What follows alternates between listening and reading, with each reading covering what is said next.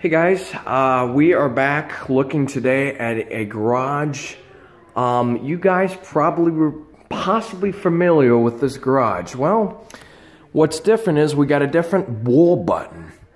So guys, uh, this is where, this is my friend's brand new garage door.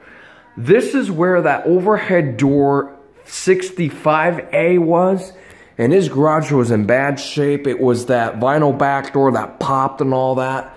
Uh, he installed this garage door. This is actually a Clopay door. He installed this. I bought it at Menards.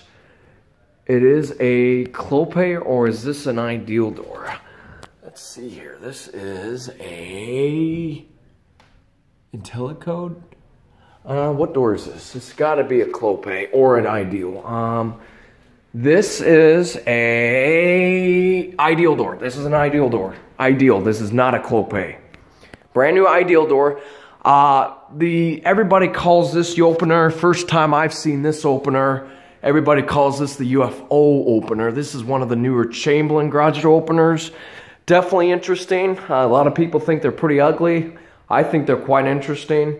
Uh, it's a belt drive DC motor. It's got the torque uh, galvanized springs. He did it himself, so he just basically bought a garage from Menards, but that garage really didn't really needed to get replaced. Also, I didn't get that opener. I told you guys I was gonna get it. I got so busy, and he said it it was breaking actually. So, uh, not further ado, let's run this up and close it back down. Uh, here we go.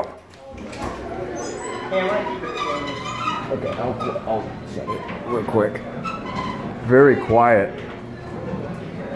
Uh, we're at a party, so everybody's kind of looking at me. All right. And we'll close that back down. Very quiet.